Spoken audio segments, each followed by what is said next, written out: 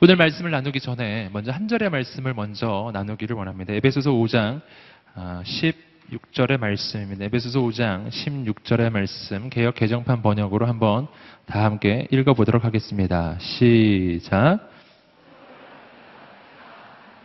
아멘. 예, 세월을 아끼라 때가 악하니라. 여러분 여기서 그 때가 악하기 때문에 우리가 꼭 해야 하는 것 한 가지가 있는데 그것은 뭐죠? 세월을 아끼는 것입니다. 이 세월을 아끼라라고 하는 말은 또 다른 번역으로는 기회를 사라라고 하는 말로도 번역이 됩니다. 그래서 성경을 보시면은 다른 번역이 아래쪽에 적혀져 있는 것도 있어요. 한번 어, 말해 보시겠습니까? 기회를 사라. 네, 기회를 사라는 거예요. 어떤 기회를 사는 거예요. 세월을 아낀다고 하는 것은요, 단순한 시간 절약의 문제가 아니에요. 시간 절약을 할 때 뭐 우선순위를 정해서 제일 소중한 일을 먼저 하고 어, 덜 급한 일은 나중에 하고 뭐 이렇게 시간 관리의 방법을 이야기해 주는 것이 아닙니다. 성경이 말해주는 세월을 아끼는 방법은요, 기회를 인생을 살아가는 것을 기회를 사는 것으로 생각할 때 어떻게 해야 하는지를 알게 됩니다. 인생을 사는 것은 뭐라고요? 기회를 사는 거예요. 산다라는 말 아시겠죠? 기회를 사요. 뭐를 지불하고 기회를 살까요? 인생을 살아갈 때 내가 지불하는 것이 있습니다. 그것은 바로 나의 시간을 지불하고 있어요. 나의 시간. 지금도 여러분은 시간을 지불하고 계십니다. 이 화요 성령 집회 여러분이 오셨죠? 오늘 여러분은 이 화요 성령 집회를 위해서 두 시간의 시간을 지불하고 계신 거예요. 오가는 시간을 합치면 어쩌면 3시간의 시간을 지불했을 수도 있습니다. 3시간의 시간을 지불해요. 그리고 뭐를 얻게 되시죠, 여러분은? 화요 성령 집회 참석할 수 있는 기회를 얻게 됩니다. 시간을 지불하고 기회를 얻게 되는 거예요. 그러므로 인생을 살아간다는 것은 언제나 기회를 사는 것입니다. 내 인생의 시간을 지불하고 기회를 사는 것입니다. 근데 이 인생을 살아가는 것에 중요한 특징이 있습니다. 그것은 뭐냐면 내 인생의 시간을 지불하는 것이 내 뜻과 내 마음대로 되는 것이 아니라 내 인생의 시간을 지불하는 것은 내 뜻과 관계없이 계속 지불되고 있다는 거예요. 여러분 오늘도 하루라는 시간을 지불하셨어요 벌써. 그 내일이 되면 내가 하고 싶지 않아도 내일이라는 그 시간을 지불하실 것입니다. 무조건 하는 거예요. 이건 계속 지불이 되는 거예요. 예. 계속 나의 시간은 지불이 되고 있기 때문에 내가 할 수 있는 일은 뭐냐면 내 시간은 지불이 되고 있으므로 이 같은 시간 안에 어떻게 해서든지 더 소중한 기회를 사는 것. 이것만 내가 할 수 있는 거예요. 여러분 화야성령 집회에 오셨다면 화야성령 집회 참석하는 기회를 사신 것이고요. 이 똑같은 시간에 어떤 분은 집에서 자고 계실 거예요. 그분은 잠을 잘 수 있는 기회를 사셨어요. 또 어떤 분은 어, TV를 보고 계실 거예요. TV를 볼 수 있는 기회를 사신 거예요. 또 어떤 분은 아무것도 하지 아니하고 그냥 허공을 바라보고 있을지도 모르겠어요. 그런 분은 그러한 기회를 사신 거예요. 그러니까 비교를 해보셔야 된다는 거죠. 이 중에서 제일 제일 가치 있고 소중한 것에 것을 내가 사야 하는 것이죠. 여러분 우리의 인생의 시간은 지금도 지불되고 있습니다. 무엇을 사시겠어요? 어떤 기회를 사시겠습니까? 가장 가치 있는 것, 가장 소중한 것을 사시기를 주님으로 축복합니다. 지금도 시간은 지불되고 있고, 지금도 내 인생의 시간은 계속해서 지불이 되고 있습니다. 제일 소중한 것을 위해서 지불해야죠.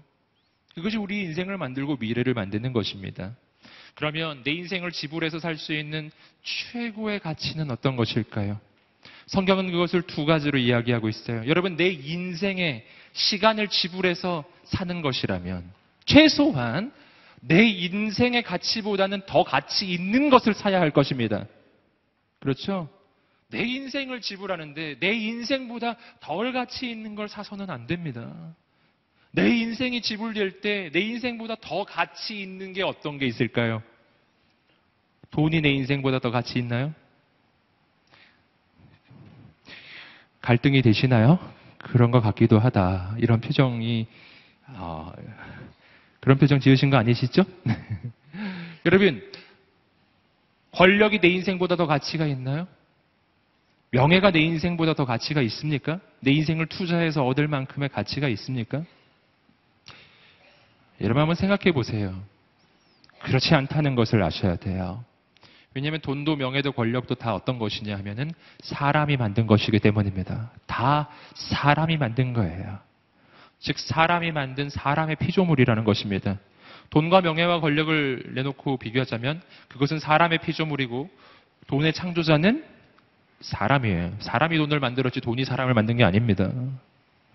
여러분, 피조물과 창조자의 관계는 어떤 관계입니까? 창조자가 피조물을 위해 존재할까요? 피조물이 창조자를 위해 존재할까요? 피조물이 창조자를 위해 존재하는 것이죠. 할렐루야. 여러분, 마이크가 저를 위해 존재할까요? 제가 마이크를 위해 존재할까요? 마이크가 저를 위해 존재하는 게 맞죠? 제가 마이크를 위해 존재하나요? 아니죠. 이러한 관계라는 것입니다. 돈도 명예도 권력도 다 마찬가지예요.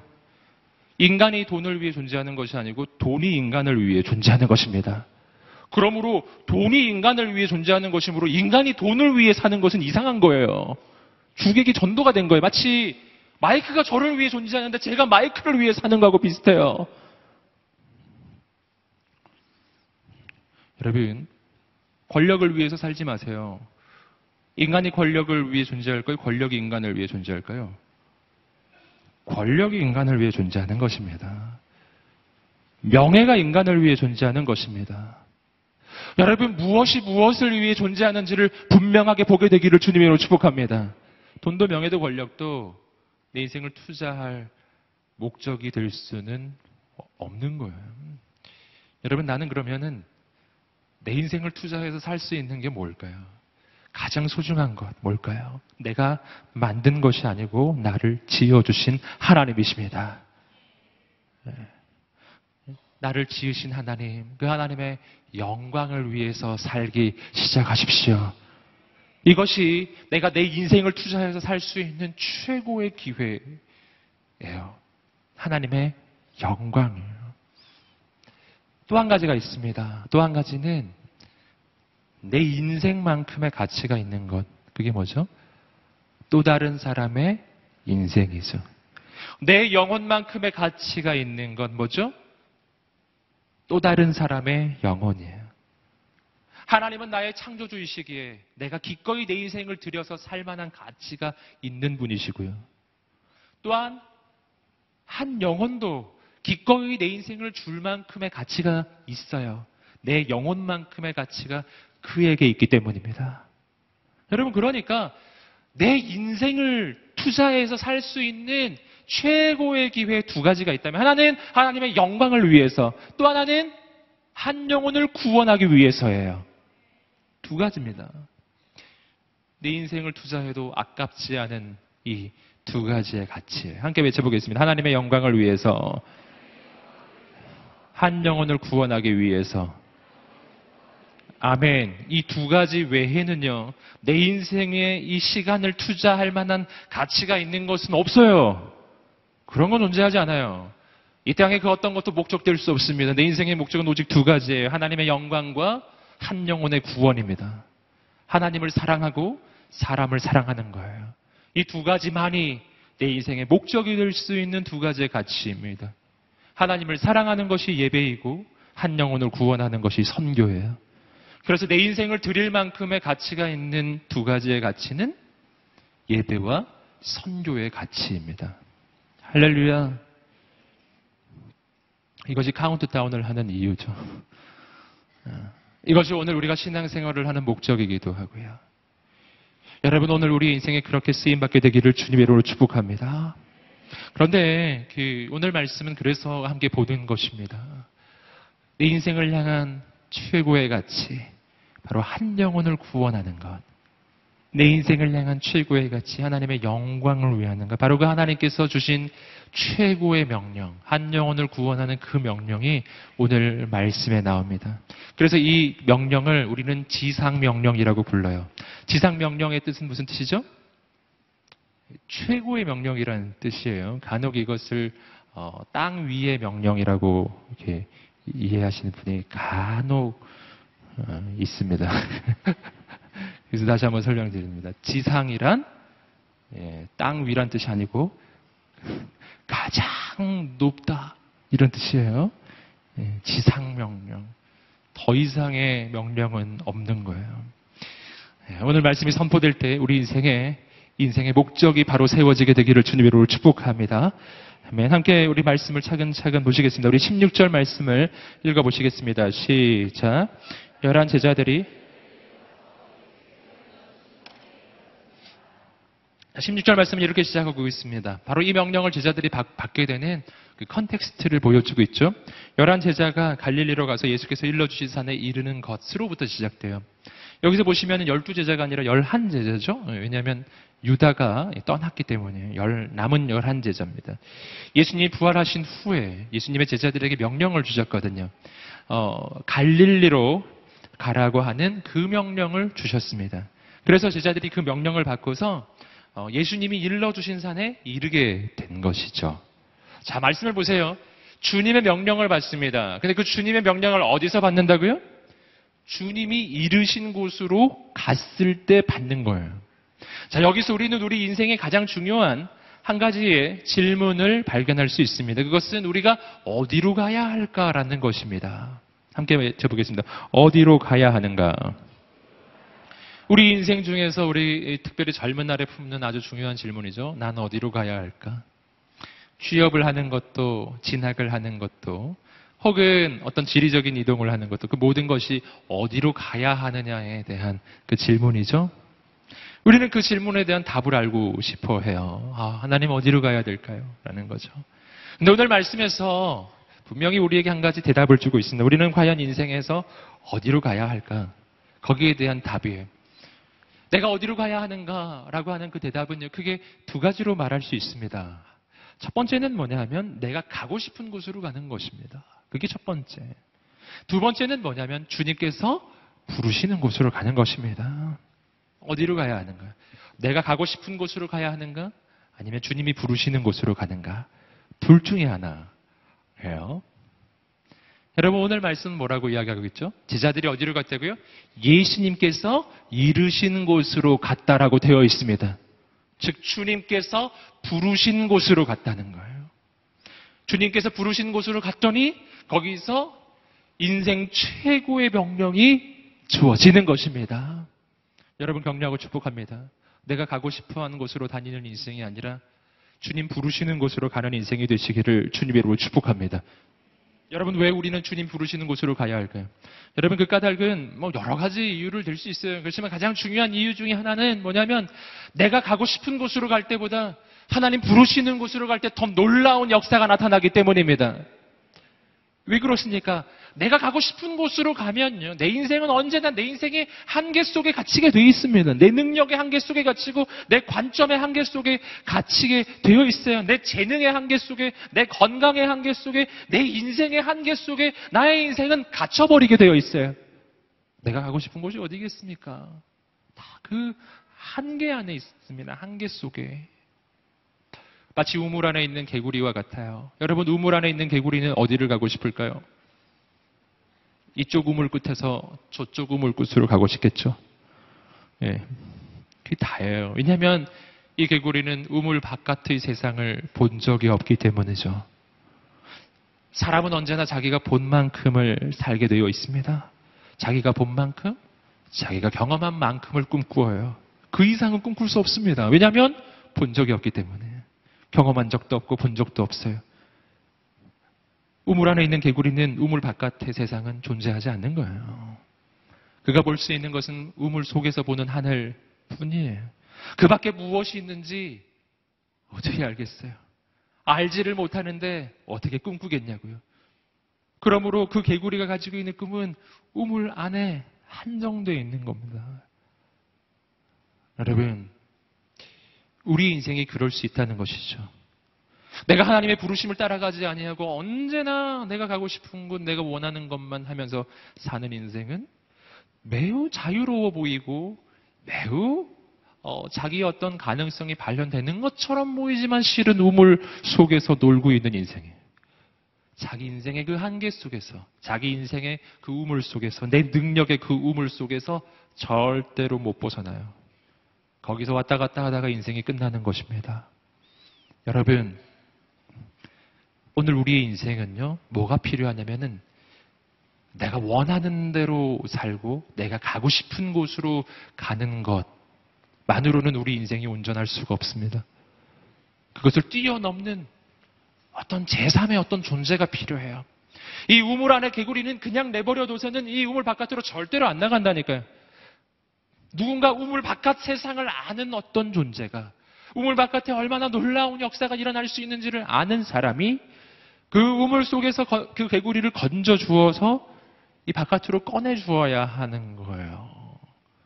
여러분 이것이 바로 예수 그리스도의 부르심을 따라 사는 것입니다. 여러분 나는 나의 관점이 너무나 한계적이고요. 나의 생각이 너무나 한계적이에요. 여러분 그러니 내 작은 생각과 내 작은 관점으로 하나님을 강요하거나 압박하지 않으시기를 주님으로 축복합니다. 하나님 앞에서 하나님 절대로 이렇게 돼야 돼요. 라고 하지 마세요. 하나님께는 그거보다 더 크고 놀라운 계획하심이 있습니다. 하나님께 절대로 이렇게는 말하지 마세요. 절대 전 거기 못 가요. 란다거나.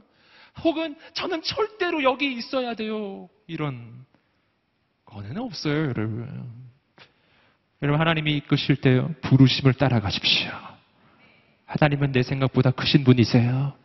우물을 넘어서서 내 인생의 한계를 넘어서서 온 우주 만물의 주인 되시는 분이시며 그리고 오늘 우리의 인생 가운데 얼마나 놀라운 가능성이 있는지 내 인생을 직접 지으신 하나님이 알고 계세요. 그 하나님이 나를 부르고 계시다면 여러분 그 부르심을 기꺼이 따라가시기를 주님으로 축복합니다. 그러면 인생의 한계를 넘어가기 시작할 거예요. 인생의 우물을 넘어가는 거예요. 그 순간에 우리는 깨닫게 될 것입니다. 이렇게 놀라운 세상이 있다는 것을 알게 될 것입니다.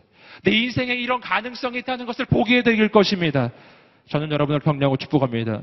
내가 가고 싶은 곳으로 가는 인생이 아니라 하나님께서 부르시는 곳으로 가십시오. 죽지 않을 것입니다. 망하지 않을 것입니다. 망해도 다시 일어날 것입니다. 하나님의 새로운 역사가 일어날 것입니다. 나의 한계는 깨어질 것입니다. 내 인생의 새로운 가능성이 펼쳐지기 시작할 것입니다. 그렇게 하려면 어떻게 해야 되냐면은 내가 내 고집을 꺾어야 돼요. 내 생각을 내려놓고 내 뜻을 내려놓고 내 고집을 꺾고 내 이전에 가지고 있었던 가치관을 내려놓고 하나님의 뜻을 붙잡는 그 과정이 필요합니다. 근데 그렇게 하는 과정이 매우 힘들지라도요. 그렇게 선택하며 나아가면 하나님의 새로운 일이 시작될 것입니다. 그래서 하나님의 그 부르심을 따라가는 것은 엄청난 희생을 감수하는 선택인 것처럼 보여도 실은 나의 인생을 더 풍요하게 만드는 하나님의 방법이 될 것입니다. 주님의 부르심을 따라가십시오. 이것이 첫 번째 우리가 말씀에서 발견하는 중요한 아, 영적인 교훈입니다. 우리가 함께 계속해서 17절 말씀을 읽어보시겠습니다. 17절입니다. 시작. 그리고 그들은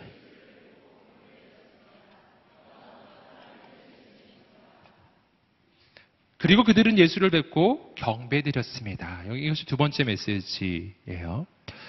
어, 그들은 자기가 가고 싶은 곳으로 가지 않았고요. 주님이 부르시는 곳으로 갔습니다. 그리고 거기에서 뭐를 했다고요? 예수를 뵙고 경배를 드렸습니다. 할렐루야. 여러분, 예수님의 제자들이 그렇게 예수님을 만났을 때 제일 먼저 했던 일이 바로 이 일이었습니다. 바로 경배. 여러분, 경배라고 하는 말은 단순한 이 예배의 의식을 이야기하는 것이 아닙니다. 여기서 말하는 이 경배란 주님 앞에 무릎을 꿇고 엎드리는 것입니다.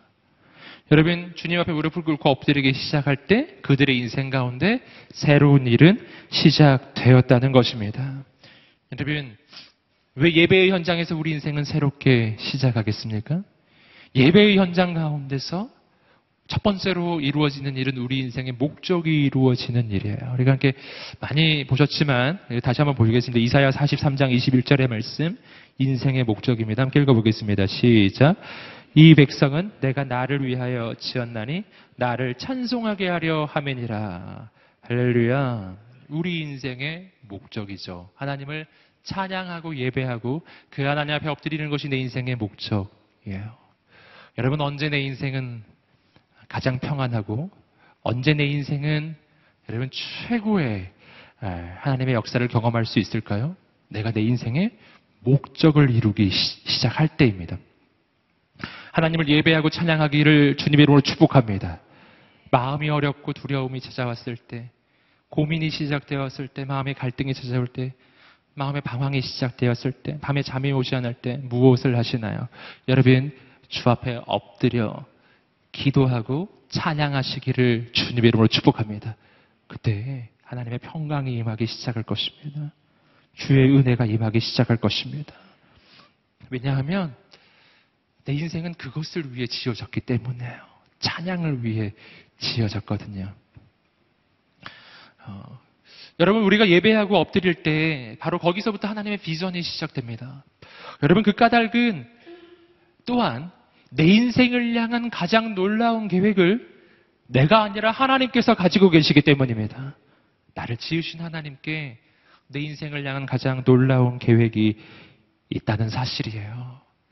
여러분 그러므로 예배란 어, 단순한 종교의 의식이 아니고 이것은 나를 지으신 창조자를 만나는 것입니다. 그 하나님을 만났을 때 무슨 일이 시작된다고요? 내 인생을 향한 하나님의 꿈과 소망과 비전이 내 인생 가운데 주어지기 시작한다는 것입니다. 여러분 그러므로 예배의 자리에서 우리는 하나님의 비전을 발견하는 거예요. 비전은 내가 하나님께 강요하는 것이 아닙니다. 굉장히 중요해요. 성경 전체에서 우리가 발견하는 것은 인생의 비전은 내가 하나님께 강요하는 게 아니라 하나님이 내게 주시는 것입니다. 하나님께 내 비전은 이거니까 이거 이루어 달라고 이렇게 강요하는 게 아니라요. 오늘 지금 이 자리가 그 자리입니다. 오늘 우리가 예배를 드릴 때, 오늘 기도할 때, 여러분 귀를 열고 마음을 열고 하나님의 음성에 귀를 기울이기 시작하십시오. 그러면 하나님의 꿈과 소망과 비전이 나 인생 가운데 들려지기 시작할 것입니다. 할렐루야. 여러분 그런데 17절 말씀에서 우리가 한 가지 중요한 사실을 발견해요. 그것은 뭐냐면 거기에 의심하는 사람들이 있었다는 거예요. 잘 보시면 17절, 17절 말씀 자막을 한 번 더 보여 주십시오. 17절 자막 읽어보겠습니다. 시작. 그리고 그들은 예수를 뵙고 경배해 드렸습니다. 그러나 어떤 사람들은 의심했습니다. 거기에 누가 있었다고요? 의심하는 사람들이 있었더라는 것입니다. 참 놀라운 사실이에요. 거기에 인원이 몇 명 있었습니까? 앞에 힌트가 나왔는데 몇 명? 11명 있었죠? 거기 11제자가 모여 있었거든요. 11명이 있었는데 그 몇 명 되지도 않는 그 중에 어떤 사람이 있었다고요? 의심하는 사람이 있었대요. 저는 이런 구절을 볼 때마다 막 할렐루야를 외치고 싶어요. 할렐루야. 왠지 아시겠습니까? 여러분, 예수님의 제자 11명 중에도 의심하는 사람이 있었다고요. 뭐를 의심했을까요? 예수님이 진짜 부활했을까? 이거에 대한 의심이죠. 분명 예수님이 십자가 달려 죽으셨는데, 아니, 진짜 부활하셨나? 여러분, 예수님 부활하신 거 이들은 소식을 들어서도 알고 있었고요. 또 요한복음 말씀을 보시면 눈으로 봐서도 알고 있었던 것을 알 수 있습니다. 근데 그들은요, 소식도 듣고 눈으로도 보고 지금 바로 눈앞에 예수님이 서 계세요. 지금 보시면은 17절 말씀 앞부분을 보시면 경배를 했다고 돼 있잖아요. 이들이 경배를 한 거거든요. 예수님 앞에 엎드려 경배하고 전능하신 하나님 찬양 뭐 이렇게 찬양도 하고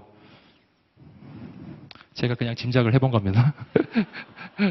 물론 다른 노래를 불렀겠지만 아무튼 엎드려 경배도 하고 뭐 그랬는데 그 중에 의심하는 사람이 있었다는 거죠. 그 마음에는 의심이 있으면서 경배한 거예요. 진짠가? 이렇게 경배를 하면서 한번 봤을 것 같아요. 진짠가? 의심을 하면서 하나님을 찬양도 하고 예수 사랑해요. 그건 아직도 마음에 의심이 있어요. 의심이 있는 거예요. 마음에 의심이 있는데 여기 또 왔어요. 저는 그게 되게 제일 놀라워요. 여기를 온 거예요, 지금. 예수님이 이르신 곳에 이들이 왔잖아요. 할렐루야. 이 올, 온, 왔는데, 오면서도 계속 마음의 의심을 가지고 있었다는 거죠. 이 진짠가? 아닌 것 같은데, 진짠가? 가도 되나? 이런 생각을 한 거예요. 음. 저는 여기서 참 놀라운 장면을 발견합니다. 오늘 우리 인생에 필요한 것은요, 100%의 믿음이 아니더라고요. 할렐루야. 몇 퍼센트가 필요할까요? 함께 외쳐보겠습니다. 51%. 할렐루야. 예, 뭐 51% 아니라도 돼요. 50.1%도 돼요. 예, 의심하는 마음 49.9%. 그리고 믿는 마음 50.1%. 차이는 0.2% 차이지만, 그러나 그 0.2%가 영원을 가르는 차이예요. 할렐루야. 마음에 의심이 계세요? 그 의심이 50%만 넘지 않게 하세요. 그러면 돼요. 한번 가슴에 손을 얹고 말해보겠습니다. 의심이 있어도 괜찮다. 50%만 넘지 않으면 된다. 할렐루야. 얼만큼의 믿음이 필요하냐 하면 여기 올 만큼의 믿음이에요. 여러분에게는 믿음이 있는 거예요. 오셨잖아요. 예, 50.1%의 믿음이죠. 예. 그러니까 하나님을 믿는 쪽으로 0.1%만 더 기우시면 돼요. 그 의심이 아직도 있지만 그 의심 품고 오십시오. 그냥 오시라고요. 오늘 말씀처럼 예수님의 제자들 의심이 있었지만 주님 부르시는 곳으로 그냥 갔잖아요. 그리고 마음에 의심이 있었지만 일단 경배를 하고 보지 않습니까? 음.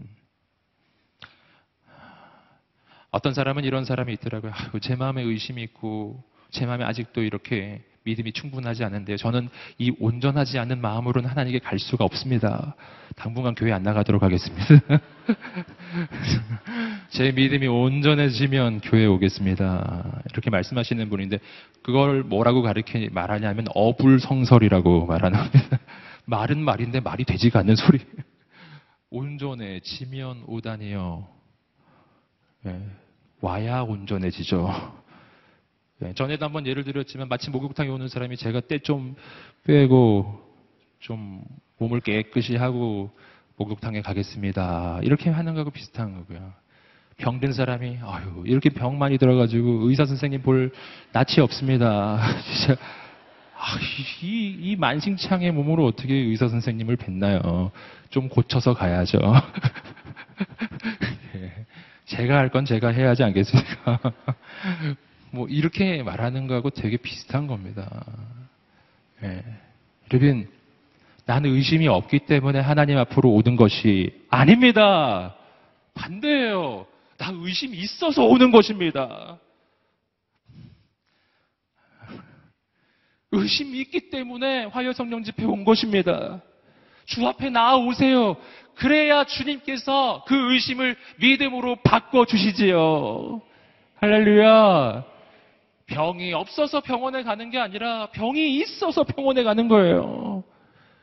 그래야 병을 고치죠. 여러분, 의심이 없어서 제자들이 온 게 아니에요. 의심이 있지만 가는 것입니다. 아직 연약하지만 가는 것입니다. 아직 부족하지만 주 앞에 엎드리는 거예요.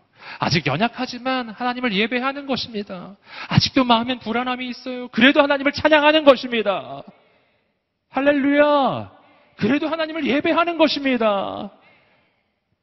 그러면 주께서 여러분의 마음에 의심을 걷어주시고, 주께서 여러분의 마음에서 불안함을 걷어주시고, 주께서 여러분의 마음에 믿음을 심어 주실 것입니다. 아멘. 여러분, 오늘 이 밤이 그러한 밤이 될 것입니다. 할렐루야. 예, 꼭 오십시오. 마음에 어려움이 있을 때 더 오십시오. 하나님이 의심스러울 때 더 오십시오.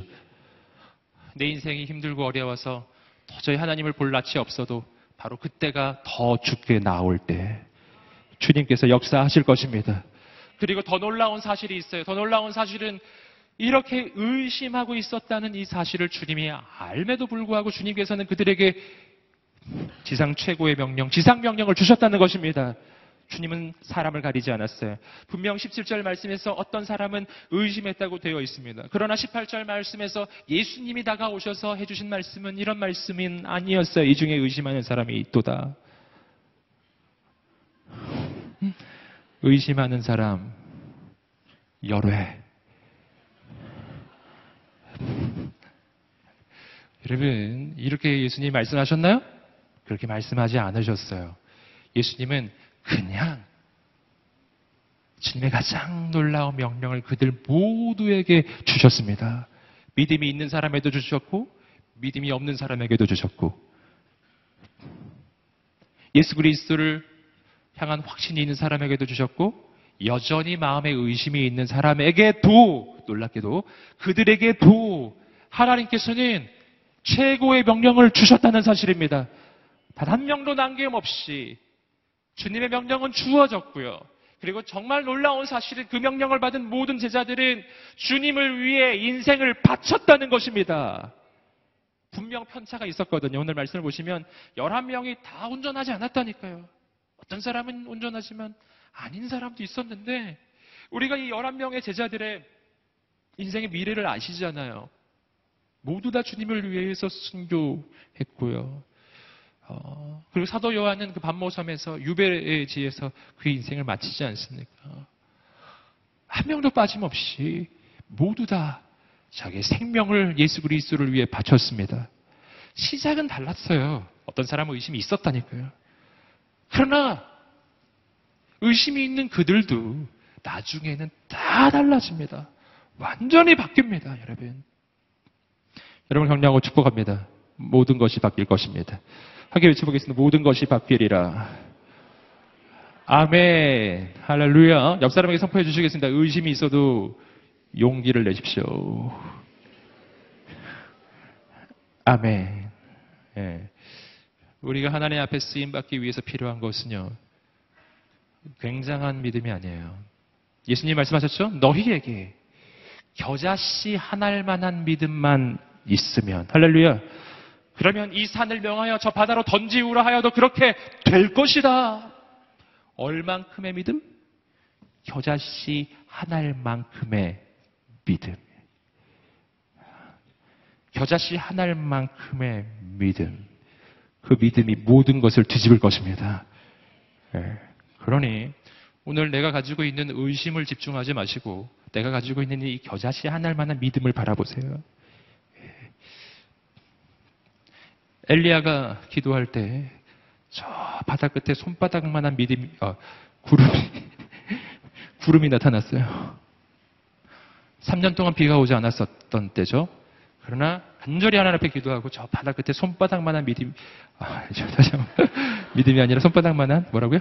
구름, 구름이 나타났을 때 엘리야는 이렇게 말했던 것이죠. 왕이시여 빨리 피하소서 큰 비가 몰려오고 있습니다. 할렐루야. 이런 걸 믿음이라고 하는 겁니다. 여러분. 여러분, 오늘 우리에게 믿음이 있게 되기를 주님으로 축복합니다. 믿음은 크게 시작하지 않아요. 아주 조그맣게 시작하는 것입니다. 근데 그 조그만 것이 모든 것을 뒤집는 것입니다. 여러분, 예수님께서 그들에게 말씀하기 시작하셨어요. 함께 18절 말씀을 읽어보겠습니다. 시작. 그때 예수께서 다가오셔서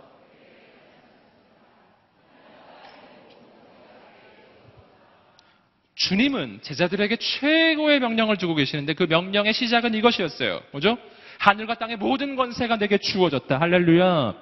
주님께서는 이제 제자들에게 이 명령을 주실 것이었어요. 그러므로 너희는 가서 모든 민족으로 제자를 삼아 아버지와 아들과 성령의 이름으로 세례를 베풀고 내가 너희에게 분부한 모든 것을 가르쳐 지키게 하라.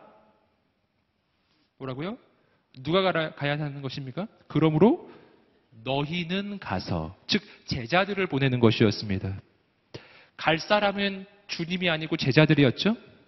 그러나 그 명령을 주시기 전에 주님께서 설명을 한 대상이 있어요. 누구에 대해 설명하셨나요? 제자들에 대해 설명하셨습니까? 아니면 주님에 대해 설명하셨습니까?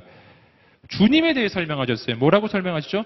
하늘과 땅의 모든 권세가 나에게 주어졌다. 사실 논리적으로는 앞, 과 뒤가 잘 안 맞는 걸 아실 수 있으십니다.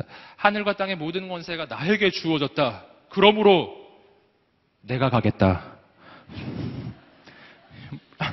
이, 이게 말이 되는 소리죠. 그게 말이 되는 소리잖아요. 그죠? 예. 아니면 반대로 얘기하든죠. 하늘과 땅의 모든 권세가 너희에게 주어졌다. 그러므로 너희가 가라. 이렇게 말씀하셨으면 말이 되고. 아니면 예수님이 자신에 대해 설명하시고 자신이 가셔면 말이 되는 소리지만 이 말씀을 잘 보시면 이렇게 돼 있어요. 하늘과 땅의 모든 권세가 내게 주었다. 그러므로 네가 가라. 이런 뜻이잖아요, 지금. 그러므로 네가 가라. 땅 끝까지. 이 아프가디가 어떻게 연결이 되는 겁니까? 연결이 되죠. 어떻게 연결이 되는 것이죠? 이것은 나를 보내시는 분이 어떤 분이신가에 대한 설명이에요. 주님은 온 우주에서 가장 위대하신 분이십니다. 하늘과 땅의 모든 권세를 가지신 분이십니다. 하늘과 땅의 모든 권세 가운데 가장 탁월하신 분이십니다. 그리고 우리는 누구라고요? 그분의 보냄받은 사람이란 뜻이에요. 할렐루야. 온 우주에서 가장 권위 있으신 분으로부터 우리가 보냄을 받은 것입니다. 그래서 예수님이 예수님 자신에 대해서 먼저 설명해 주시는 것입니다. 너희는 갈 때 너희가 누구에게 보냄 받았는지를 반드시 기억하여야 한다. 너희를 보내시는 분은 온 우주의 최고의 권세자이시다. 할렐루야. 이것이 우리가 가지는 권위죠. 여러분, 이것은 정말 놀라운 권위입니다. 외교관은 어, 떤 한 나라의 권위를 가지고 외국으로 파견되는 사람이지요. 그것이 그의 권위예요. 누가 보내느냐가 굉장히 중요합니다. 대통령이 보내면 대통령의 권위를 가지고 가는 대통령 특사죠. 네. 그러나 옆집 아저씨가 보낸 사람은 옆집 아저씨의 권위를 가지고 오는 옆집 아저씨의 특사인데 그 특사는 권위가 없어요. 그 권위는 어, 의심스러워요. 여러분 나를 보내시는 그분이 누구냐가 매우 중요해요.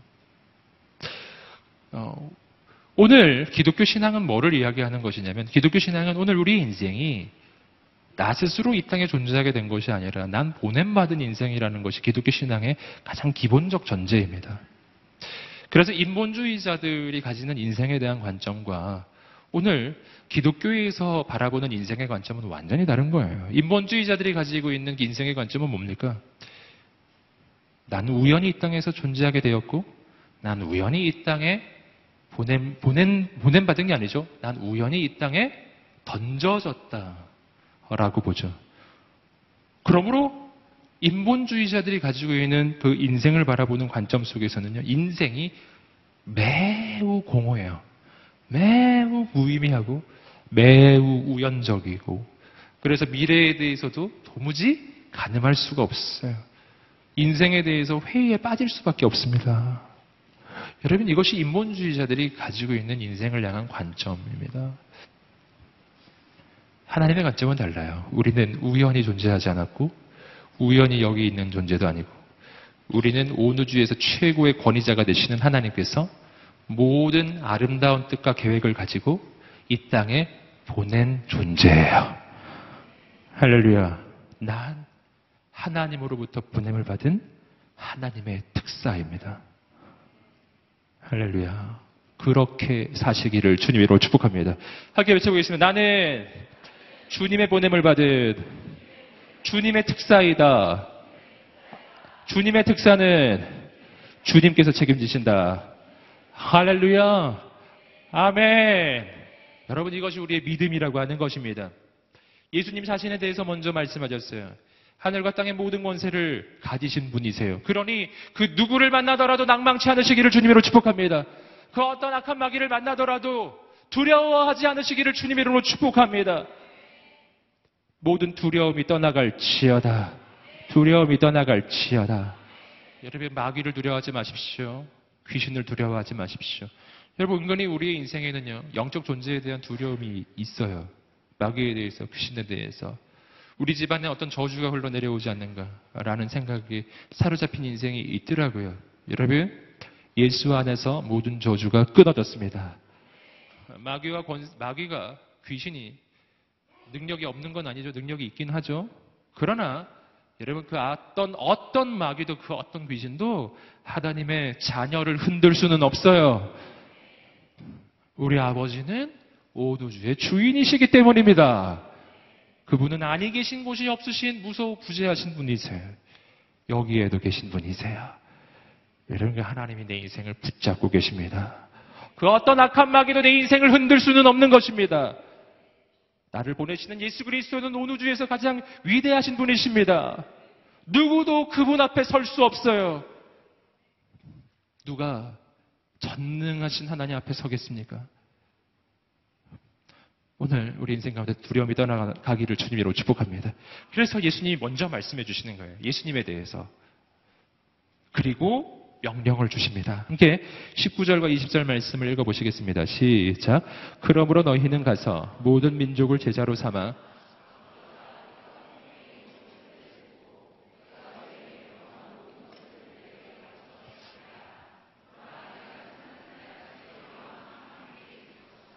아멘. 그러므로 너희는 가서 여러분 이 명령은 가라라고 하는 명령으로 시작이 되고 있습니다. 가라. 움직여라.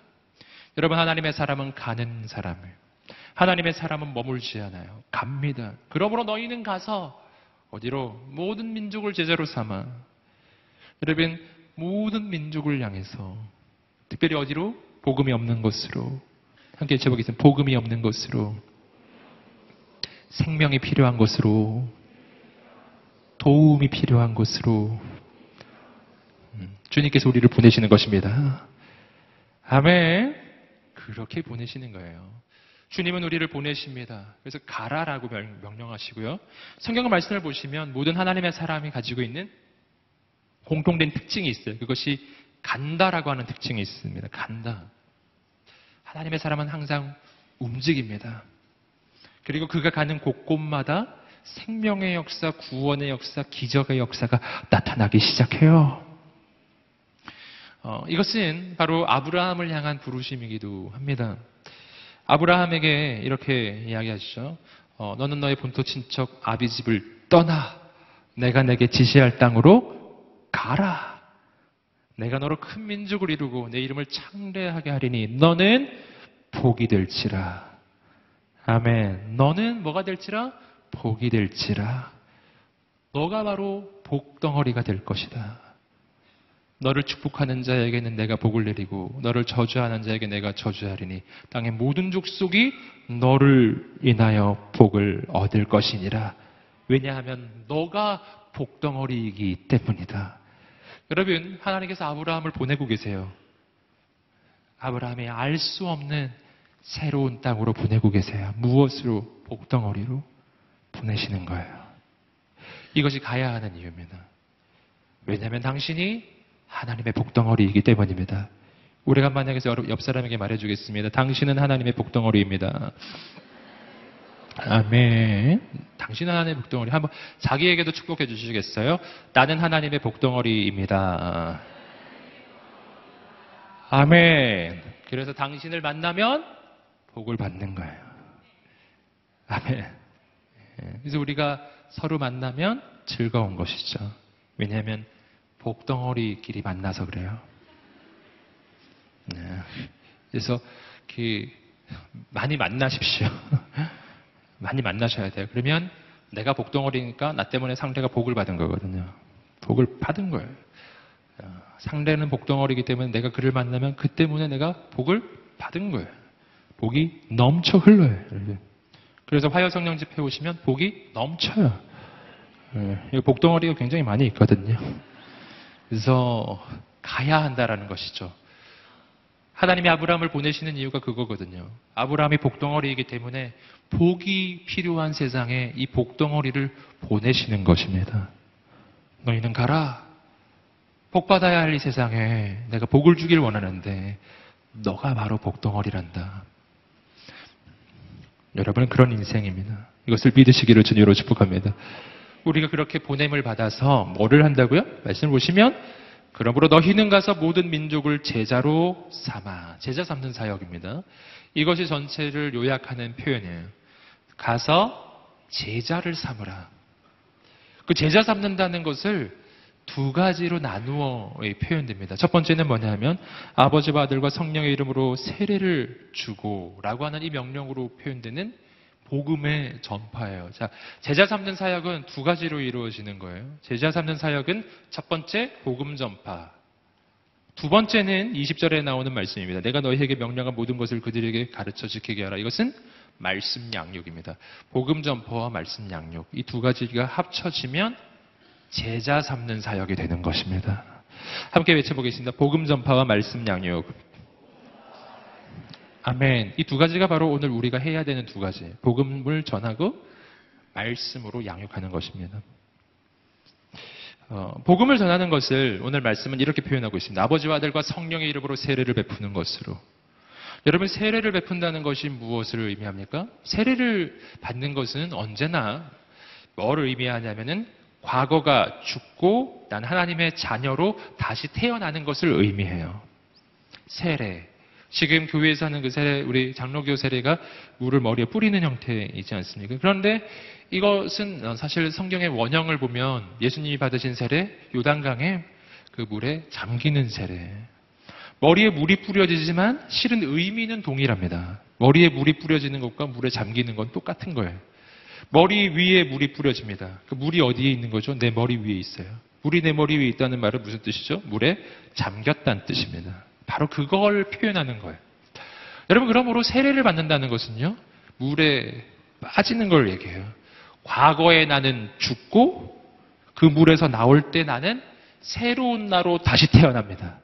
이것이 세례예요. 죄의 종이었던 과거에 나는 죽고 이제는 하나님의 아들과 딸로 다시 태어나는 것입니다. 구원 사건이에요. 구원은 인생이 질적으로 바뀌는 것입니다. 조금 좋아지는 게 아니에요. 어, 예전에는 마귀의 종, 세상의 종이었는데 이제는 하나님의 아들, 딸로 다시 태어났습니다. 당신은 바뀌었습니다. 할렐루야. 여러분, 그래서 세례 주는 사역이 첫 번째예요. 인생이 바뀌어야 하거든요. 근데 그걸로 끝나서는 안 됩니다. 예수 믿고 구원받고 하나님의 자녀가 되었어요. 그 다음 해야 할 일이 있는데 그게 바로 말씀 양육이에요. 그 말씀 양육은 어떻게 이루어지는가? 다시 한번 우리 20절 말씀을 다시 한번 20절 말씀을 자막을 보여주시겠습니다. 읽어보겠습니다. 시작. 내가 너희에게 명령한 모든 것을 그들에게 가르쳐 지키게 하라. 보라 내가 세상 끝날까지 너희와 항상 함께 있을 것이다. 그죠? 내가 너희에게 명령한 모든 것을 그들에게 가르쳐 지키게 하라. 말씀 양육은 두 가지로 또 이루어집니다. 첫 번째는 예수님께서 명령하신 모든 것을 가르치는 것이에요. 주님의 말씀을 잘 읽어보십시오. 그럼 이 말씀 양육의 내용이 뭔지를 발견해요. 한번 따라해 보시겠습니다. 예수님께서 명령하신 모든 것을 가르치는 것. 이게 말씀 양육이에요. 네. 이것이 말씀 양육의 첫 번째 요소입니다. 뭘 가르치라고요? 예수님이 말씀하신 것. 즉, 예수님의 말씀을 가르치라는 것이죠. 여러분, 기독교 신앙에서의 이 말씀 양육의 핵심은 여기에 있습니다. 기독교 신앙에서 말씀으로 양육한다는 것은요, 어떤 도덕교육이나 윤리교육을 이야기하는 게 아니에요.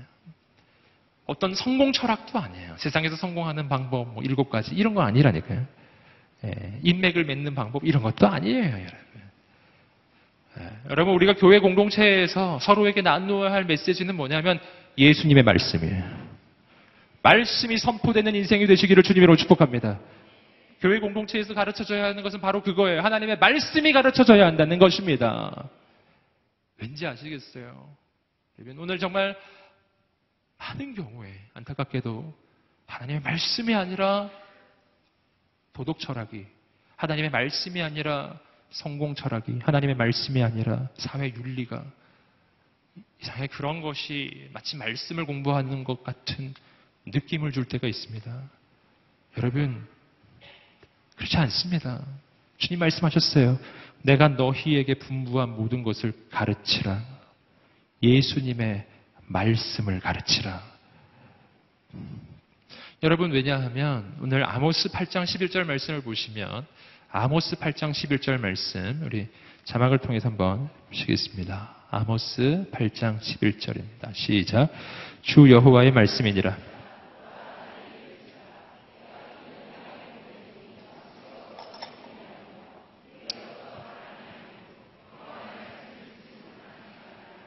아멘.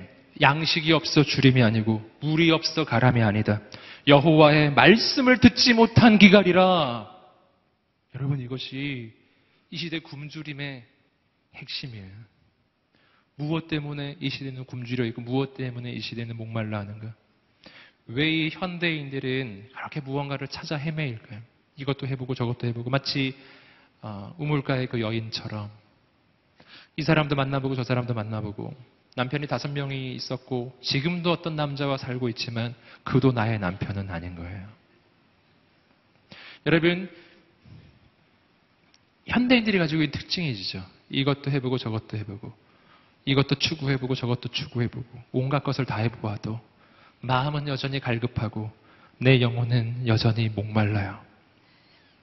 오늘 또 무언가를 해보려고 하지만 그러나 여전히 목마른 거예요. 목마르고 목말라서 이제는 포기해버렸어요. 더 이상 길이 없는 거예요. 여러분, 그 목마름의 이유는 바로 여기에 있습니다. 내 영혼이 목마른 이유는 세상의 어떤 가치가, 세상의 어떤 철학이 없어서가 아니에요. 남들이 가지고 있는 걸 내가 가지지 못해서 내가 목마른 것이 아닙니다. 내가 진짜 목마른 이유는 하나님의 말씀을 향한 목마름이에요. 왠지 아세요? 내 영혼은 하나님의 말씀으로만 살 수 있기 때문입니다. 예수님 말씀하셨잖아요. 사람이 떡으로만 사는 것이 아니에요. 하나님의 입으로부터 나오는 모든 말씀으로 살 것이니라. 여러분, 밥만 먹고 살 수 있는 게 아니라니까요. 아무리 밥을 먹어도 배고프고, 아무리 물을 마셔도 목마릅니다. 내 영혼의 갈급함이에요. 이 영혼의 갈급함을 세상의 가치로 채우려고 들면은 채워지지 않습니다. 권력을 추구해도 돈을 많이 가져도 명예를 많이 가져도 도무지 채워지지 않아요. 세상의 쾌락을 추구해보아도 절대 채워지지 않아요. 이것은 하나님의 말씀만이 채우는 자리입니다. 어떤 말씀이요? 예수 그리스도의 말씀이에요. 여러분 오늘 우리에게 필요한 것은 그것입니다. 여러분, 이 시대가 필요로 하는 것이 바로 그것입니다. 여러분, 나의 친구가 필요로 하는 것이 바로 그거예요. 우리의 가정이 필요로 하는 것이 바로 그거예요. 예수 그리스도의 말씀이 필요로 해요. 여러분, 내 영혼의 유닛, 예수 그리스도의 말씀이 채워지기를 주님으로 축복합니다. 내 영혼이 살기 시작할 것입니다. 이 시대가 그것을 필요로 해요. 주님의 말씀을 필요로 해요. 이 시대가 주님의 말씀을 필요로 하는 아주 중요한 또 한 가지 이유는 이 시대는 절대 기준이 무너지고 있는 시대이기 때문입니다. 절대 기준은 없습니다. 지금 이 시대에는. 지금 이 시대는 각자 소견에 오른 대로 행하는 사사기의 시대와 같아요. 모두 각자 소견에 오른 대로. 네, 모든 기준은 무너져요. 결혼의 기준도, 가정의 기준도, 심지어는 성의 기준도 무너져요. 성도 남성, 여성 두 가지만 있는 게 아니더라고요. 되게 다양해요, 요즘에는. 뭐, 심지어는 무성, 뭐 이런 것도 있더라고요. 없을 무. 들어오셨나요? 그런 것도 있더라고요. 여러분, 모든 기준이 무너지고 있습니다. 그러나 기준이 없다 주장한다 해서 기준이 사라지진 않습니다. 마치 지하실에 사는 사람이 태양이 없다 주장한다 해서 태양이 없어지는 것이 아닌 것처럼 이 땅에 발을 딛고 있는 사람이 중력은 없다라고 주장한다고 해서 중력이 없는 게 아니죠. 그는 이미 발을 딛고 서 있지 않습니까? 여러분, 건물을 지을 때 기준이 필요해요. 다림줄을 내리지 않습니까? 그래서 건물은 수직으로 올라가는 거죠. 근데 어떤 사람이 기준이 없다라고 주장하면 자기 소견에 오른 대로 건물을 지어요. 지그재그로. 그러면 어떻게 될까요? 무너지는 거죠. 기준이 없다고 주장한다고 해서 기준이 없어지는 것이 아니고 기준이 없다고 주장하기 때문에 세상은 더 화려해지면 화려해질수록 더 번성하면 번성할수록 최첨단의 기술이 발달하면 발달할수록 더 위험해져요. 마치 건물이 수직으로 올라가지 않고 사선으로 올라가면 화려하고 높게 지을수록 더 무너질 가능성이 높아지는 거하고 비슷합니다. 여러분, 이 시대는 무엇을 필요로 할까요? 절대 기준을 필요로 합니다. 근데 이 시대 다른 데는 그런 기준이 없어요. 오직 예수님께만 있습니다. 여러분, 여러분을 통해서 예수님의 말씀이 선포되기를 주님의 이름으로 축복합니다. 시대는 그런 사람을 필요로 하고 있습니다. 내가 너희에게 분부한 모든 것을 가르치라. 한 가지가 더 있어요. 가르쳐 지키게 하라. 이 두 번째 요소입니다. 말씀 양육은 지식만 가르치는 것이 아니고 그 말씀이 지켜져야 해요. 지켜지도록 가르치는 것입니다. 어떻게 말씀은 지켜질까요? 말씀이 지켜지는 방법은 오직 하나입니다. 그것은 내 노력이 아니에요. 내 힘이 아닙니다. 말씀이 지켜지는 방법은 내 안에 계신 예수님께서 하시는 일이에요. 갈라디아서 2장 20절 말씀을 함께 계속해서 읽어보시겠습니다. 시작. 내가 그리스도와 함께 십자가에 못 박혔나니 그런즉 이제는 내가 사는 것이 아니요 오직 내 안에 그리스도께서 사시는 것이라. 이제 내가 육체 가운데 사는 것은 나를 사랑하사 나를 위하여 자기 자신을 버리신 하나님의 아들을 믿는 믿음 안에서 사는 것이라. 할렐루야. 나는 죽고 내 안에 예수님이 사는 인생. 그러한 인생이 되기 시작할 때에 인생은 바뀌기 시작하는 것입니다. 여러분, 그러므로 예수님을 만나서 인생이 바뀐다는 것은요, 예수님을 만난 다음에 좋은 말씀 많이 들어서 내가 결단하게 되는 게 아니에요. 예수님을 믿는다는 것은 예수님을 믿는 그 순간에 내 인생의 주인이 바뀌는 것을 의미하는 것입니다. 나는 죽고 내 안에 예수님이 살기 시작해요. 그 예수님이 내 인생을 이끌기 시작하는 것입니다. 예수님이 내 인생의 주인 되는 그 순간부터 이전에 내가 하지 못했던 일을 할 수 있게 될 것입니다. 주님이 내 인생의 주인 되는 그 순간부터 이전에는 꿈도 꾸지 못했던 그러한 믿음의 결단이 생겨나기 시작할 것입니다. 이것이 말씀이 내 인생에 이루어지는 방법이에요. 인생의 주인이 바뀐 것입니다. 이것이 예수 믿는 것입니다. 여러분의 인생의 주인이 바뀌게 되기를 주님으로 축복합니다. 말씀을 지식으로만 아는 것이 아니라 여러분의 삶으로 지켜지게 되기를 주님으로 축복합니다. 이것이 복음의 전파예요. 그리고 주님께서는 보장의 말씀을 해주셨습니다. 보라, 내가 세상 끝날까지 너희와 항상 함께 있을 것이다. 너희는 혼자가 아니다. 주께서 함께 하실 것이다. 용기를 낼지어다. 주님의 그 부르심을 따라 온 세상을 향해 나아갈지어다. 여러분 오늘 이 말씀이 우리의 마음 가운데 새겨지기를 주님으로 축복합니다. 이 말씀이 우리에게 선포되는 것이 얼마나 감사한지 모르겠어요. 내 인생엔 새로운 가능성이 있습니다. 여러분 주님의 부르심을 따라서 순종하며 나아가게 되기를 주님으로 축복합니다. 여러분 가정과 학교와 직장에서 말씀을 선포하고 복음을 전하고 사람을 살리는 인생이 되시기를 주님으로 축복합니다. 지경을 넘어서서 민족과 열방을 향해 나아가는 여러분이 되시기를 주님으로 축복합니다. 이 시대는 그런 사람을 필요로 해요. 주님의 말씀에 순종하며 나아가는 한 사람입니다. 오늘 이 시간에 한번 말씀을 따라서 기도하며 주 앞에 나아가겠습니다. 아, 할렐루야. 오늘 어, 아주 오랫동안 기도하진 않을 거예요. 뒷 시간에 우리가 또 여러 가지 모임으로 그, 어, 기회를 좀 드리기 위해서 어, 6월 한 달은 하야선년 집회 시간을 평소보다 조금 빨리 마치고자 하고 있습니다. 그래서 기도를 할 때 전심으로 온 마음 다해서 함께 했으면 좋겠습니다. 이 시간에 우리가 함께 한번 기도하면서 주 앞에 나아갈 때 우리가 오늘 말씀을 붙잡고 한번 기도하며 나아갑시다. 하나님, 오늘 우리의 인생은 가장 놀라운 부르심 가운데 있습니다. 오늘 내가 내 뜻대로 내 마음대로 사는 인생이 아니라 하나님의 그 부르심으로 사는 인생이 되게 해주십시오. 오늘 우리는 첫 말씀 속에서 주님의 그 말씀을 보았습니다. 나는 내가 가고 싶은 곳으로 가는 인생이 될 것인가? 아니면 주님의 부르심을 따라 사는 인생이 될 것인가? 아버지의 내가 주님의 부르심을 따라가는 인생이 되게 하여 주시옵소서. 주님의 부르심을 따라가기 시작할 때 내 인생의 한계를 넘어서고 내 인생 가운데 하나님의 새 역사가 일어날 줄 믿습니다. 오늘 우리는 주님의 놀라운 명령을 받고 있습니다. 하나님의 그 명령을 이루고 이 땅 가운데 하나님의 가능성을 이루는 하나님의 사람이 되게 하여 주시옵소서. 우리 그렇게 우리 인생을 주 앞에 의탁하며 이 말씀이 이루어지는 인생이 되게 해달라고 우리 말씀을 따라 기도하며 나아갈 때 일어나셔서 기도하시고요. 앞으로도 나오셔서 기도하시고요. 무릎 꿇고도 기도하시고 우리 전심으로 주 앞에 두 손을 들고 온 마음을 다해서 인생을 의탁하며 말씀을 붙잡고 기도하겠습니다. 주여 세워 부르짖으며 기도하겠습니다. 주여 주여. 곳에서 나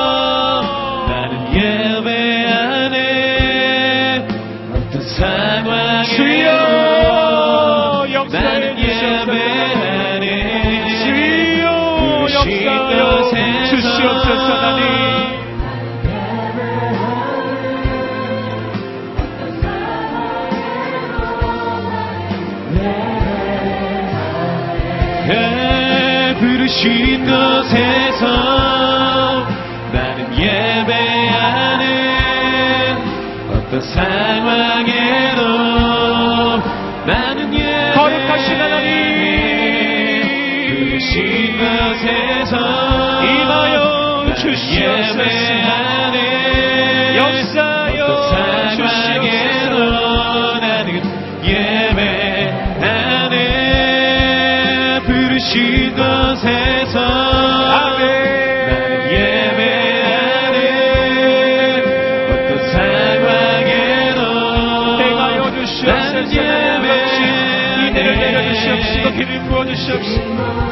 나아가는 모든 영혼과 모든 심령과 하나님 아버지 하여주시옵시고 역사를 주시옵소서 하나님 아버지. 은혜를 내려 주시옵소서. 예배하네. 할렐루야. 주님 역사하여 주시옵소서. 주님을 사모하며 나가는 영혼들마다 주님을 의지하며 나가는 심령들마다 하나님 이 밤에 임하여 주시옵소서. 나는 예배 이 밤에 역사하여 주시옵소서 할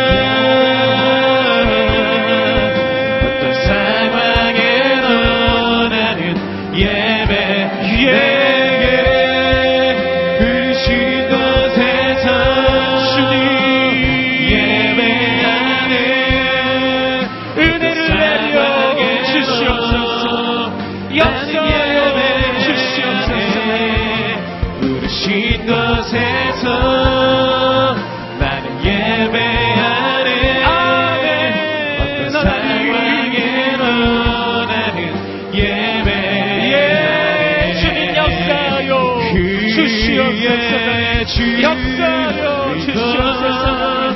은혜를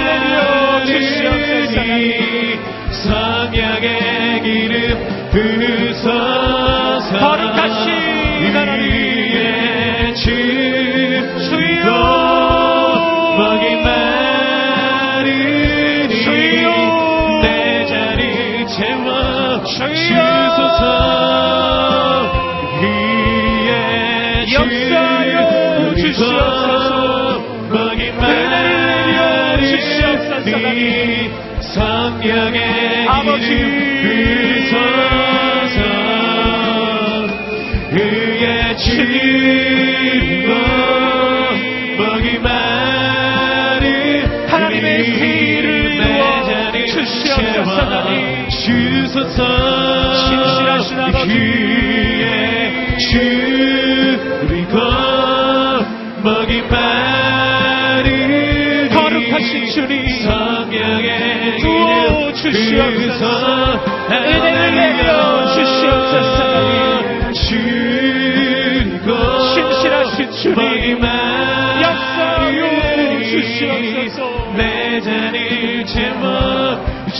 주소서 아버지.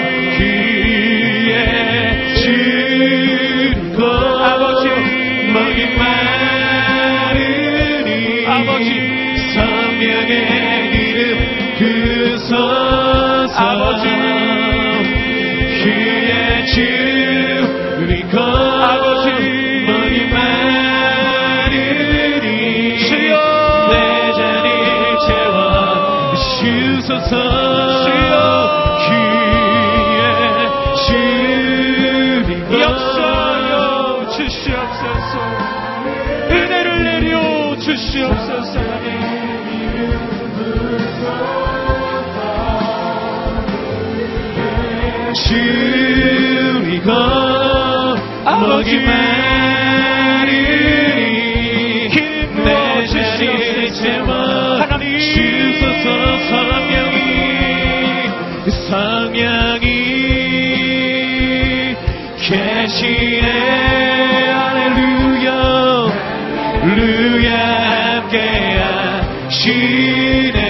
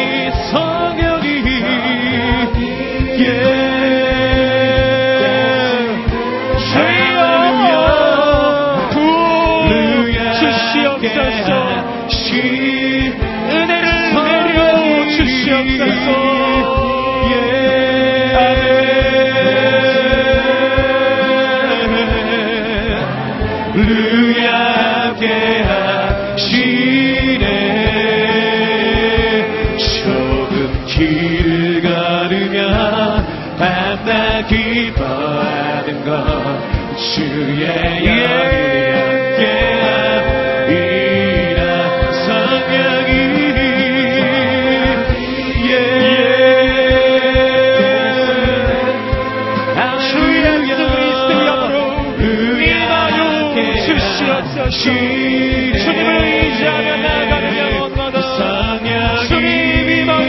주시옵소서. 주님을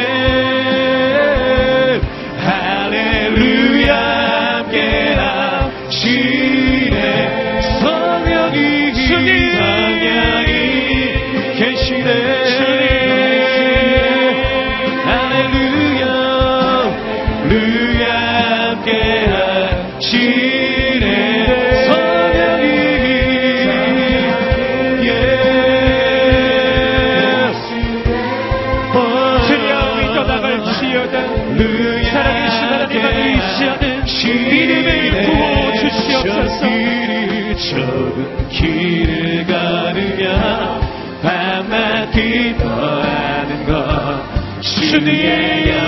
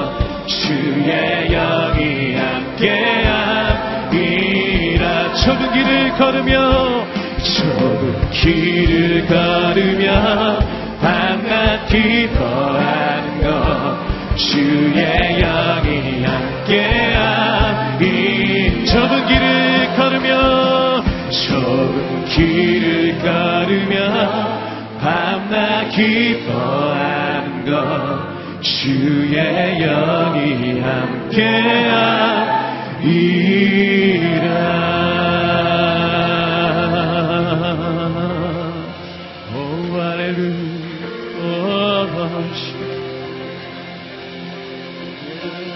할렐루야 할렐루야, 할렐루야. 주님을 찬양합니다, 하나님. 우리 인생을 이끌어 가시는 하나님을 찬양합니다. 주의 이름을 높여드립니다, 하나님. 우리의 눈을 열어주시옵소서. 우리의 눈을 열어주시옵소서. 우리의 귀를 열어주시옵소서. 우리의 귀를 열어주시옵소서. 예수 그리스도로 명한 어둠의 권세를 묶임을 넣고 떠나갈지어다. 떠나갈지어다. 주의 음성을 듣게 하여 주시옵소서. 주의 말씀을 듣게 하여 주시옵소서. 할렐루야! 할렐루야! 오 주님 여러분 신앙이란 내 뜻을 고집하는 것이 아닙니다 신앙이란 하나님의 뜻을 내 인생에 관철시키는 것입니다. 기도는 내 뜻을 주장하는 것이 절대 아닙니다, 여러분. 여러분, 기도할 때 정말 그래서 주의해야 합니다. 기도에 있어서 가장 중요한 것은 내 뜻을 하나님께 전달하는 데 있지 않습니다. 기도에 있어서 가장 중요한 것은 하나님의 뜻을 내가 듣는 것입니다. 내가 원하는 곳으로 가는 것이 아니라 주께서 이르시는 곳을 내가 가야 하기 때문이에요. 내 인생의 종착역은 내가 정하는 것이 아닙니다. 아버지께서 정해주시는 것입니다. 그리고 아버지께서 정해주시는 그곳이 제일 좋은 곳입니다. 이것을 믿으십시오. 아버지를 신뢰하세요. 그래서 기도는 내 영혼을 오픈하는 것입니다. 나는 왜 기도는 그렇게 오랫동안 했는데 늘 제자리를 맴돌고 있겠, 있을까요? 왜 나는 이렇게 오랫동안 기도 생활을 했음에도 불구하고 나의 영적인 생활에는 진보가 없는 것입니까? 어제 했던 기도를 오늘 또 하고 오늘 했던 기도를 내일 또 하고 있습니다. 언제나 그 자리에 머물러 있어요. 어제도 답답했는데 오늘도 답답하고 내일도 답답합니다. 왜 그렇겠습니까? 여러분, 왜 그럴까요? 까닭 그 하나님 앞에 우리의 영혼을 열어놓고 있지 않기 때문에 열어놓으십시오. 주님 말씀하여 주시옵소서. 주여 들려 주시옵소서. 주님께 이렇게 기도하지 마세요. 주님, 이 길을 가야겠습니다. 라고 하지 마세요. 주님 앞에 가능성을 열어놓으세요. 마리아가 했던 그 기도를 해야 합니다. 주의 계집종이오니 말씀대로 이루어지이다. 말씀대로 이루어지이다. 주님께서 가라 하시면 가고 서라 하시면 서고 주께서 좌하시면 나도 좌하고 주께서 우하시면 나도 우하겠습니다. 주님 앞서 행하여 주시옵소서. 주님 앞서 가시지 않는다면 난 아무데도 가지 않겠습니다. 주님이 먼저 행하여 주시옵소서. 주님 나의 갈 길을 일러 주시옵소서. 주님 말씀하시면 저는 가겠습니다. 예루살렘을 넘어서 온 유대로 사마리아로 땅 끝까지 주님이 가시는 곳이라면 어디든지 가겠습니다. 저 낮은 곳까지 가겠습니다. 어느 곳이든 가겠습니다. 이것이 우리의 오늘 고백입니다. 우리가 그 고백을 하며 내 영혼을 오픈하고 주 앞에 기도하며 나갈 때 오늘 우리는 이전에 알 수 없었던 하나님의 비전을 보기 시작할 거예요. 하나님의 음성이 들려지기 시작할 것입니다. 주여 이 밤에 말씀하여 주시옵소서. 아멘. 말씀하여 주시옵소서. 아멘. 예수님의 제자들에게 들려주셨던 그 음성을 오늘 나에게도 들려 주시옵소서. 주의 종이 듣겠습니다. 아멘. 주 앞에 두 손 들고 주여 세 번을 치며 기도하겠습니다. 주여, 주여, 주여, 주님.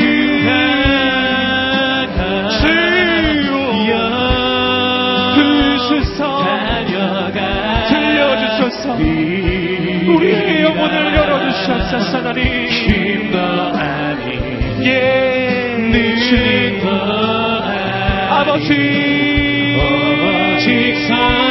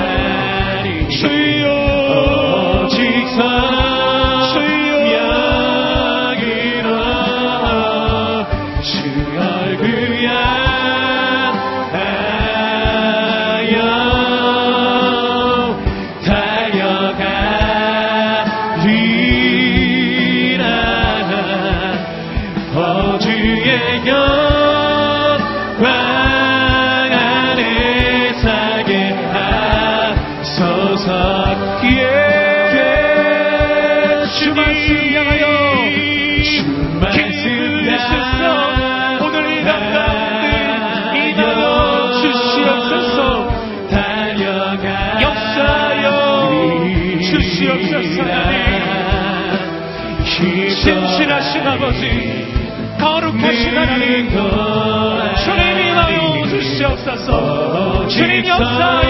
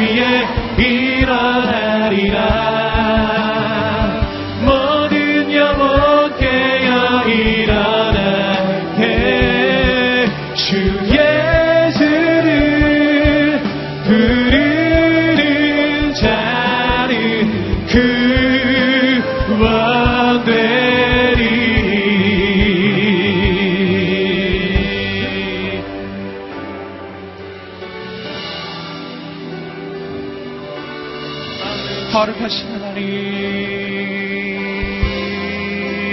임하여 주시옵소서. 죽게 나가는 모든 영혼을 받아 하나님 아버지 오시옵소서. 주여 그리스도 하늘의 은혜를 부어주시옵시고 역사하여 주시옵소서. 죽게 나가는 모든 영혼과 모든 심령마다 하나님 아버지 은혜를 내려주시옵시고 길을 부어 주시옵소서 아버지 믿음을 주시옵소서 용기를 주시옵소서 위에 일어나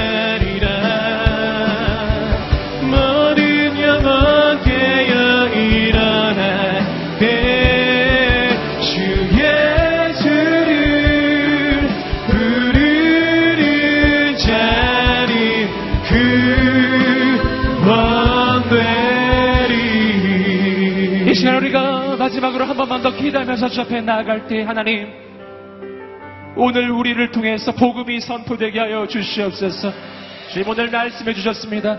그러므로 너희는 가서 모든 민족으로 제자를 삼아 아버지와 아들과 성령의 이름으로 세례를 베풀고 내가 너희에게 분부한 모든 것을 가르쳐 지키게 하라.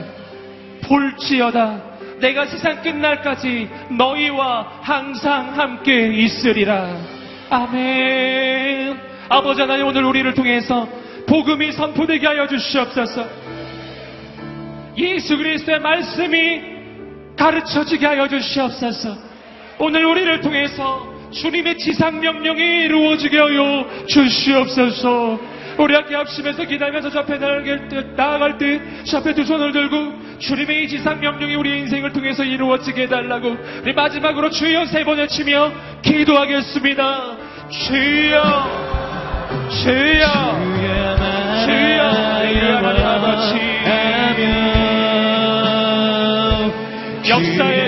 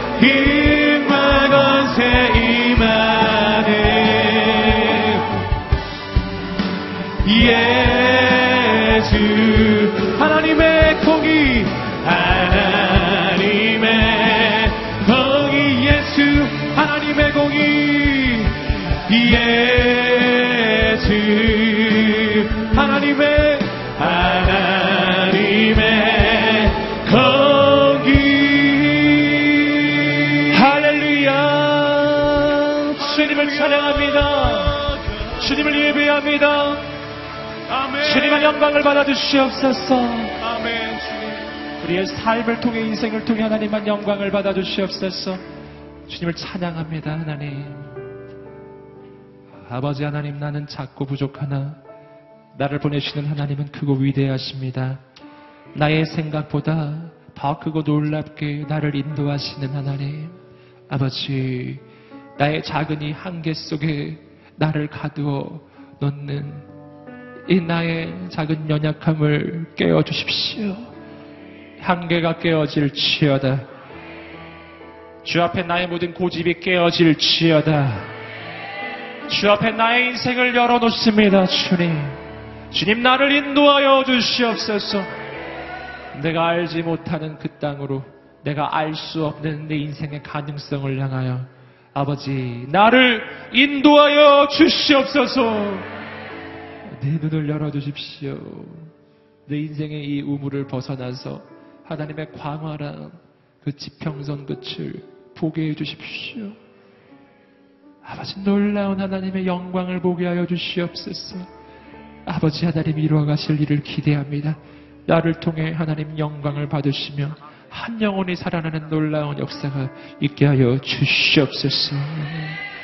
지금은 우리 주 예수 그리스도의 은혜와 하나님의 사랑과 성령의 교통하심이 오늘 주님의 가장 높으신 그 명령을 받아 그 앞에 순종하기로 결단하는 모든 하나님의 사람들 머리 위에 민족과 열방과 모든 성교사님들 머리 위에 지금부터 영원까지 함께 하시기를 간절히 축원하옵나이다. 아멘. 살아계신 하나님께 감사하여 찬양의 박수를 올려드리시겠습니다. 주님을 찬양합니다. 아멘.